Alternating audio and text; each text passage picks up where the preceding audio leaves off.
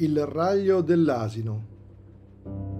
Egregio Sant'Antonio Abate, protettore degli animali. Io sottoscritto asino, detto anche ciuco o somaro, simbolo dell'ignoranza e della cocciutaggine, sono qui a supplicarla di intervenire in mia difesa, possibilmente con un miracolo o con qualcosa che gli assomigli.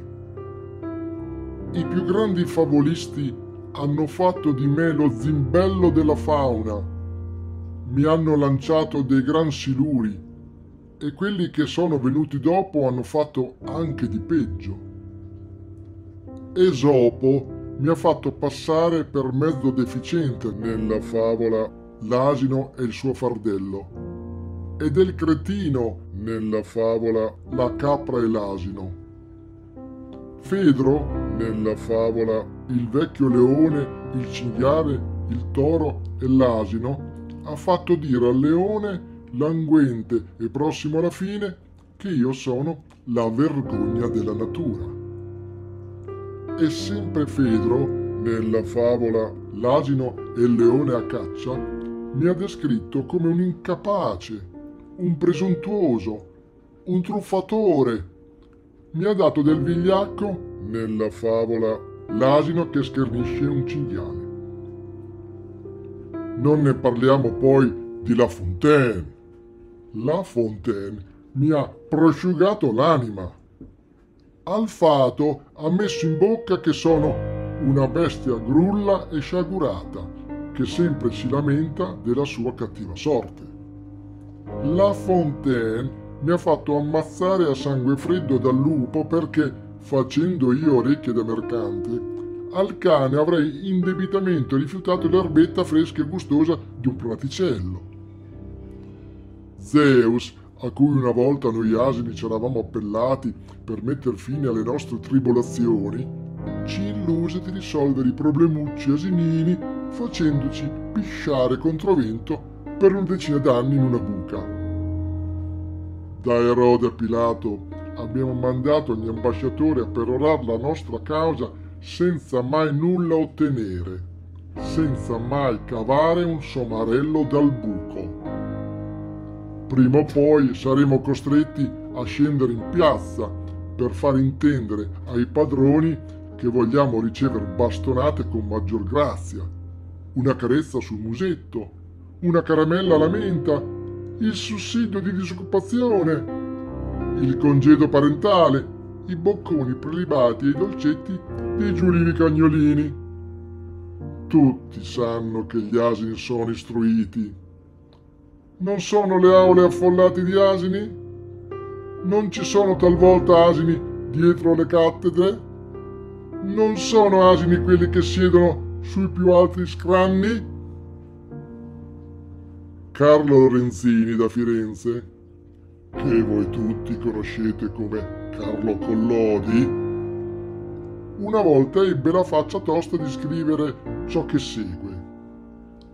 È scritto nei decreti della sapienza che tutti i ragazzi svogliati che, pigliando a noi i libri, le scuole e i maestri passano le loro giornate in balocchi, in giochi, in divertimenti, debbono poi finire prima o poi col trasformarsi in tanti piccoli somari.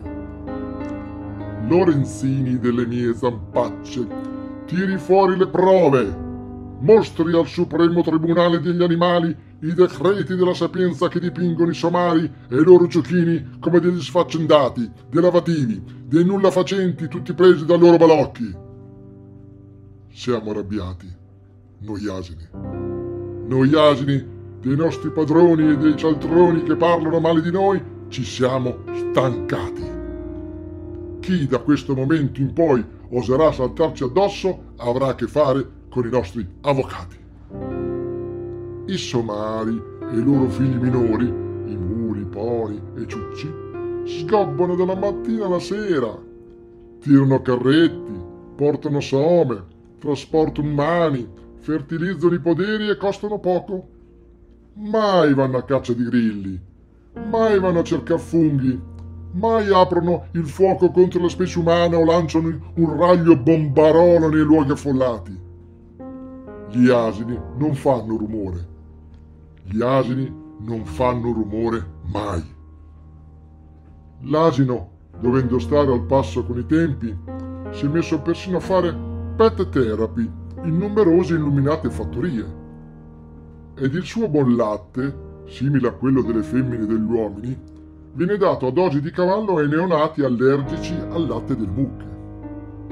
Spende una parola buona, Abate, con Gesù bambino, che io ho visto nascere, per quella brava maestrina, e mi riferisco a Elizabeth Swensen, che in terra di Britannia ebbe tanto a cuore il bene dell'asinello. Spinga sull'acceleratore per farla proclamare santa. Lei, Abate, non è un asino, è un santo. Un santo tutto può. Lei, eccellentissimo cavaliere Abate, ha troppi animali da proteggere, troppe gatte da pelare e corre il rischio di andare nel pallone o in depressione. In due, il compito che Dio le ha assegnato durerà solo da Natale a Santo Stefano. Mi dia retta, commendatore. Amicone degli animali, la supplico, non ci faccia orinare contro vento anche lei. Ci faccia andare in un brodo di giuggiole piuttosto. Faccia il miracolo, restituisca dignità all'asino. Faccia in modo che chi ci governa riconosca la propria natura asinina, che vada in televisione assieme al suo entourage e dica al popolo tutto: Io sono un asino. Viva l'asino! Viva la Repubblica fondata sugli asini! Devotissimamente, l'asino.